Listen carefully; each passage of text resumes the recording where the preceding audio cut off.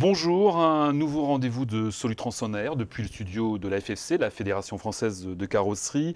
La connectivité et les solutions embarquées font partie des thèmes désormais récurrents et importants du salon Solutrans.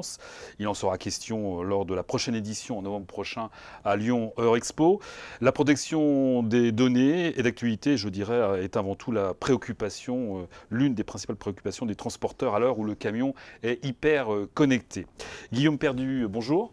Bonjour Hervé. Alors je rappelle, vous êtes président d'Ecolis, votre société est spécialisée euh, dans la thématique des semi-remorques, vous développez entre autres des solutions de traçabilité.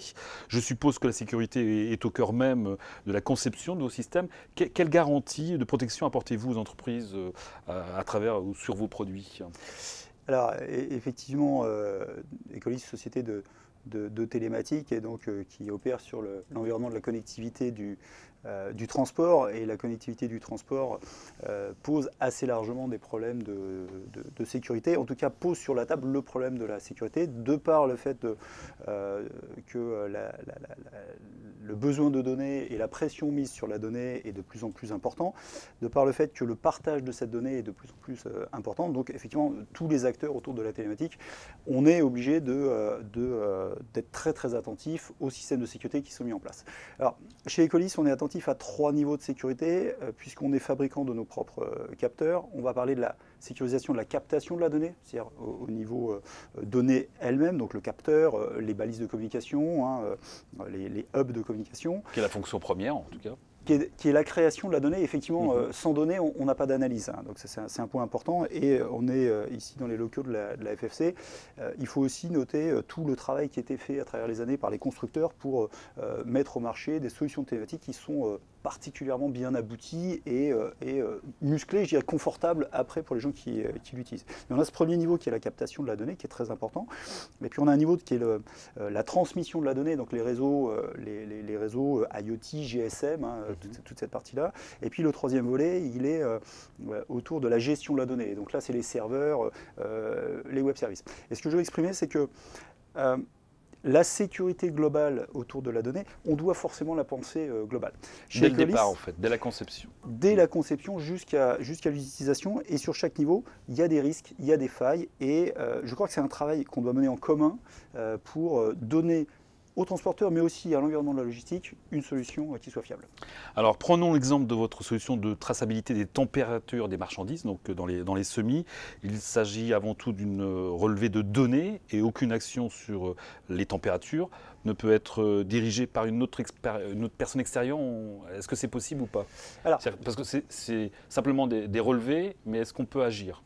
Alors, on ne, peut pas agir sur euh, la température via la solution Ecolis. Et ça, notamment mhm. par, euh, pour des raisons de, sécurité. C'est-à-dire que euh, la technologie, son avantage et son inconvénient, c'est qu'elle peut tout faire. Mhm. C'est à la fois un avantage et, un inconvénient. Donc nous, attention à la technologie qui résout tous les problèmes. Nous, on veille à ce que, effectivement, dès la captation, on ne puisse pas intervenir à distance. C'est-à-dire qu'on va avoir des protocoles de communication qui sont unidirectionnel et donc pour lequel euh, aucune action extérieure ne peut euh, générer une intervention qui soit non voulue.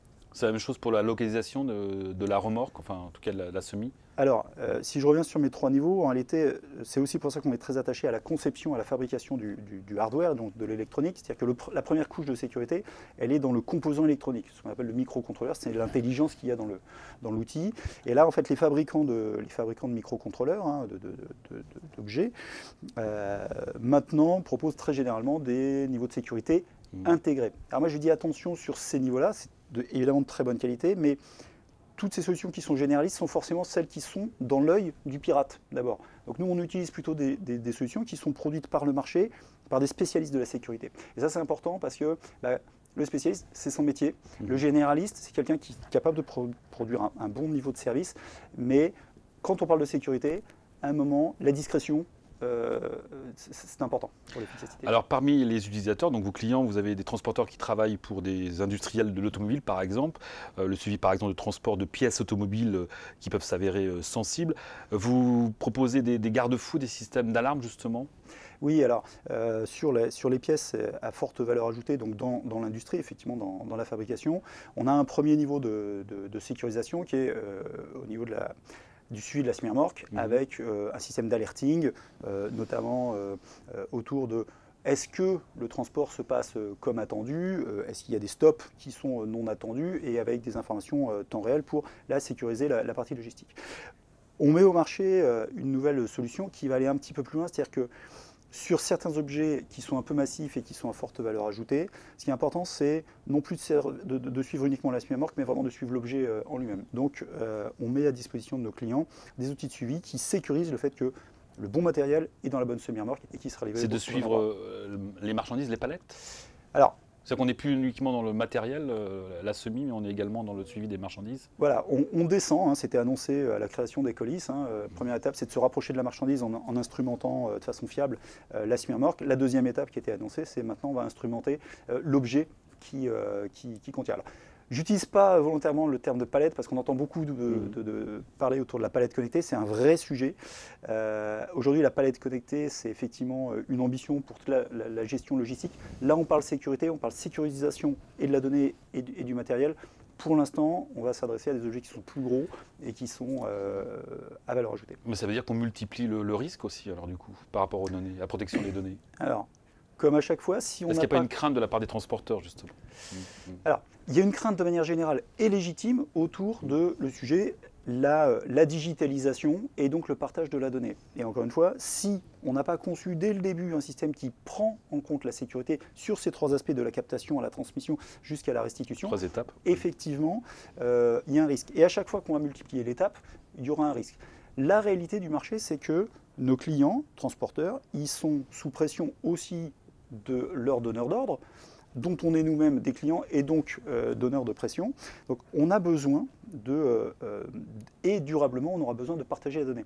Il y a un autre enjeu qui va être le camion connecté, qui va être le camion autonome. Donc en fait, tous, hein, je pense qu'on a une pierre à apporter à la sécurisation et donc certainement à mettre sur la table des protocoles communs. Guillaume Perdu, merci en tout cas. Et puis on dit tous rendez-vous en tout cas à Solutrans du 16 au 20 novembre prochain à Lyon Hors Expo où nous aurons l'occasion bien sûr de revenir sur ce sujet sensible des données lors de différentes conférences. Merci et à très vite.